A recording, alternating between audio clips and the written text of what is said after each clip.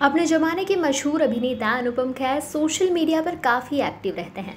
समय समय पर वो अपने इंस्टाग्राम और ट्विटर से कमेंट कर कई मुद्दों पर बात करते हुए नज़र आते हैं।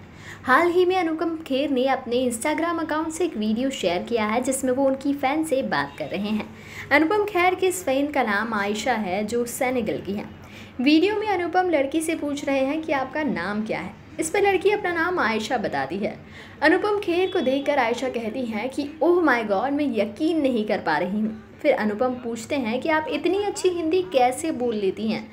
आयशा बताती हैं कि वो बहुत सारी हिंदी फ़िल्में देखती हैं और अनुपम की ऐसी एक भी मूवी नहीं है जो उन्होंने नहीं देखी है। आयशा ने बताया कि वो यहाँ अपनी बहन के लिए आई हैं, जो हॉस्पिटल में एडमिट है। अनुपम खैर ने ये वीडियो अपने इंस्टाग्राम अकाउंट से शेयर करते हुए लिखा कि आज मेरी फ़ैन आयशा से मुलाकात हुई।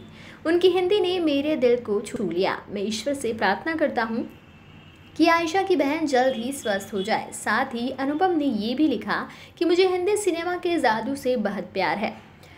जय हो। ये वीडियो सोशल मीडिया पर वायरल हो रही है। लोग इस वीडियो को पसंद भी कर रहे हैं। और आयशा का ओ माय गॉड और उनकी हिंदी लोगों का दिल लुभा रही है। बहन हॉस्पिटल में है अभी। हाँ। विजिटिंग टाइम खत्म हो रही है अभी तो अच्छा। हमें जाना है अभी।